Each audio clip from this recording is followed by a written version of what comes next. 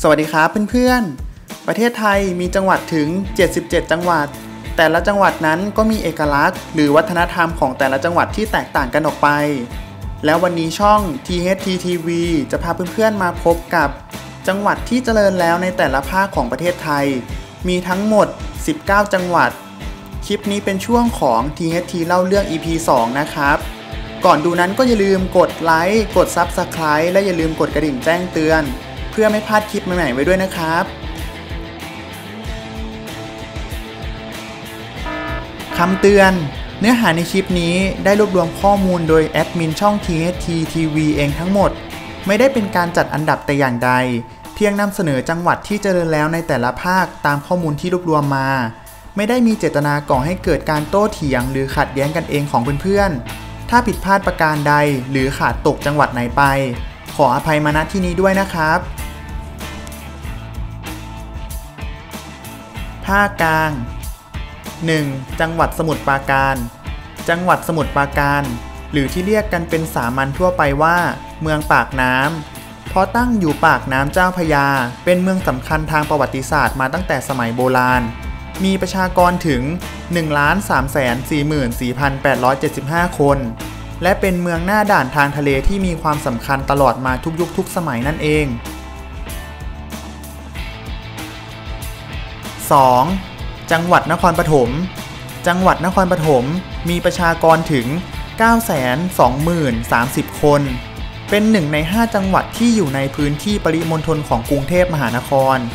จังหวัดนี้มีประวัติศาสตร์เก่าแก่ยาวนาน เชื่อว่าเป็นที่ตั้งเก่าแก่ของเมืองสมัยทราวดี โดยมีหลักฐานทางประวัติศาสตร์ และโบราณคดีเป็นจำนวนมาก และมีสถานที่สำคัญคือวัดพระปฐมเจดีนั่นเอง 3. จังหวัดนนทบุรี จังหวัดนนทบุรีมีประชากรถึง 1,265,387 คน มีจุดเด่นตรงทำเลที่ตั้งที่อยู่ใกล้เมืองหลวง มีการคมนาคมสะดวกทั้งทางบกและทางน้ำทำให้จังหวัดนนทบุรีในวันนี้ กลายเป็นเมืองท่องเที่ยวที่สำคัญอีกแห่งหนึ่ง และมีความเจริญเป็นอย่างมาก 4. จังหวัดปทุมธานี จังหวัดปทุมธานีมีประชากรถึง 1,163,604 คน เป็นหนึ่งใน 5 จังหวัดในพื้นที่ปริมณฑลของกรุงเทพมหานคร ตั้งอยู่บริเวณลุ่มแม่น้ำเจ้าพยา เทศบาลที่ตั้งสารกลางจังหวัดคือเทศบาลเมืองปทุมธานี แต่เทศบาลที่มีประชากรที่มากที่สุดในจังหวัดคือเทศบาลนครลังสิตนั่นเอง 5. กรุงเทพมหานคร จังหวัดกรุงเทพมหานคร มีประชากรถึง 10ล้าน8แสน29,921 คน เป็นความเจริญในรูปแบบของเมืองหลวง และศูนย์กลางทางเศรษฐกิจ ประชากรมีรายได้เฉลี่ยสูงที่สุดในประเทศไทย ภาคอีสาน 1. จังหวัดอุบลราชธานี จังหวัดอุบลราชธานี เป็นจังหวัดขนาดใหญ่ในภาคตะวันออกเฉียงเหนือตอนล่าง มีประชากรถึง 1,869,633 คน ทั้งยังเป็นตำบลที่ตั้งของเส้นเวลาหลักของประเทศไทย โดยเป็นจังหวัดแรกที่จะได้เห็นดวงอาทิตย์ก่อนพื้นที่อื่นๆ ของประเทศไทยนั่นเอง 2. จังหวัดขอนแก่น จังหวัดขอนแก่น มีประชากรถึง 1,802,872 คน เทศบาลขอนแก่นเป็นศูนย์กลางของจังหวัด ซึ่งตั้งอยู่ในจุดที่ถนนมิตรภาพนำความเจริญมายังตัวเมือง และผลพวงจากการมีมอภาคเป็นแห่งแรกของภาคอีสาน จึงทำให้มีการพัฒนาในทุกๆ ด้านอย่างก้าวกระโดดนั่นเอง 3. จังหวัดอุดรธานี จังหวัดอุดรธานี มีประชากรถึง 1,586,646 คน เป็นจังหวัดใหญ่ที่เป็นศูนย์กลางการคมนาคมและการท่องเที่ยวของภาคตะวันออกเฉียงเหนือของประเทศไทยในปัจจุบัน มีความสำคัญอย่างยิ่งในประวัติศาสตร์ เนื่องจากเป็นที่ตั้งของแหล่งอารยธรรมบ้านเชียง ซึ่งเป็นล่องรอยของอารยธรรมมนุษย์ที่เก่าแก่ที่สุดแห่งหนึ่งบนโลก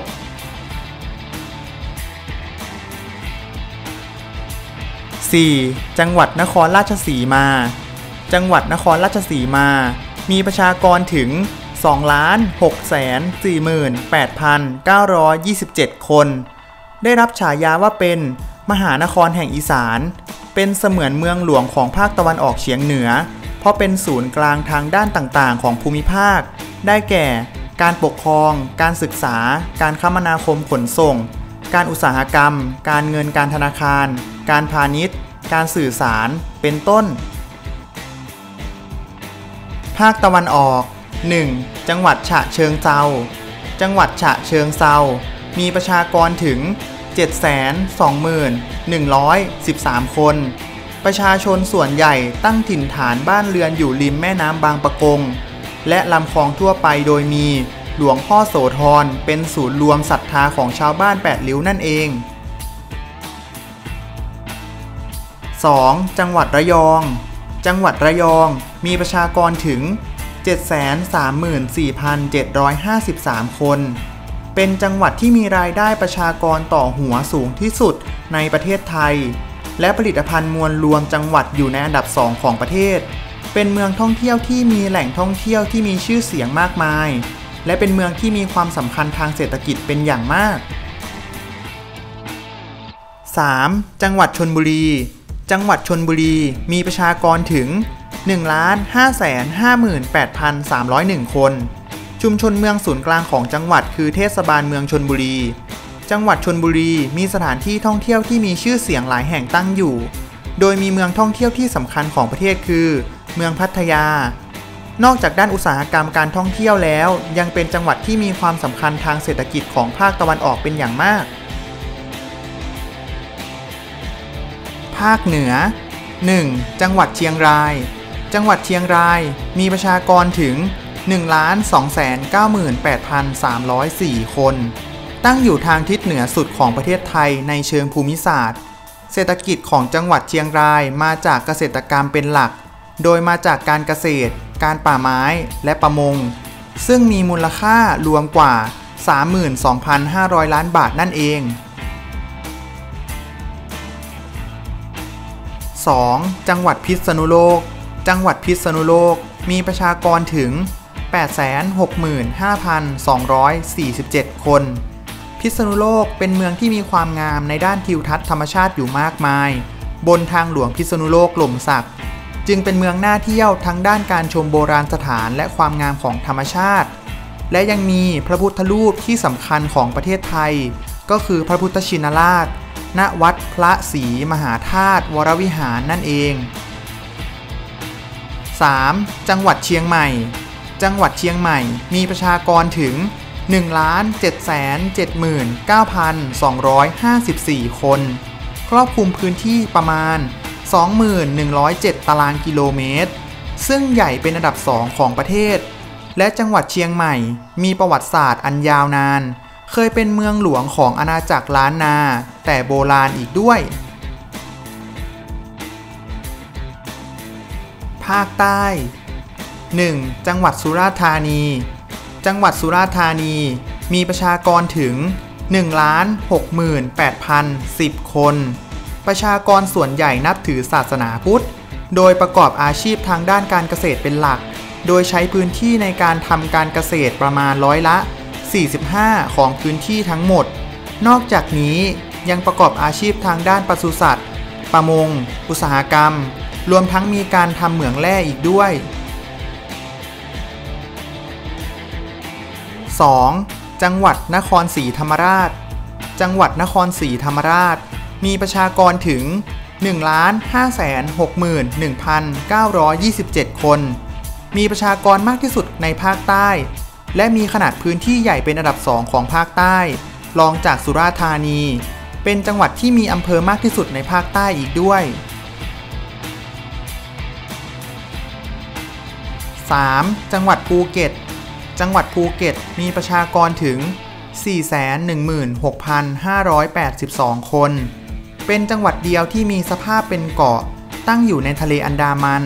และถือว่าเป็นจังหวัดที่เป็นแหล่งท่องเที่ยวที่สำคัญของประเทศไทย เป็นความเจริญในรูปแบบเมืองท่องเที่ยว ประชากรมีรายได้เฉลี่ยสูงเป็นอันดับ 2 มีโรงแรมอยู่มากมาย 4. จังหวัดสงขลา จังหวัดสงขลา มีประชากรถึง 1,435,968 คน เป็นจังหวัดชายแดนภาคใต้ เมืองท่าและเมืองชายทะเลที่สำคัญของประเทศไทย และยังมีเมืองที่เปรียบเสมือนเมืองหลวงของภาคใต้ อย่างเมืองหาดใหญ่นั่นเอง เป็นยังไงกันบ้างครับเพื่อนๆสำหรับจังหวัดที่เจริญแล้วในแต่ละภาค คลิปนี้จัดทำขึ้นเพื่อให้เพื่อนๆที่สนใจในเรื่องนี้ ได้รับชมเพื่อความบันเทิงเท่านั้น ไม่ได้มีเจตนาไปเหยียดจังหวัดอื่น หรือทำให้พี่น้องคนไทยที่ไม่ได้อยู่ในจังหวัดที่กล่าวมาข้างต้น ต้องเสียใจหรือเสียความรู้สึก หรือมีความรู้สึกไม่ดีแต่อย่างใดนะครับ ผิดพลาดประการใดขออภัยมาณที่นี้ด้วยนะครับ ถ้าชอบวิดีโอนี้อย่าลืมกดไลค์กดติดตามและคอมเมนต์เพื่อเป็นกำลังใจให้แอดมินด้วยนะครับ